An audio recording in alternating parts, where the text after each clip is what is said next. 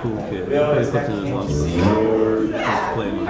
Oh. kid after my own heart. Yeah. All right, we're going to do one more, and then I think we're going to get Dito up here next. Dito, house.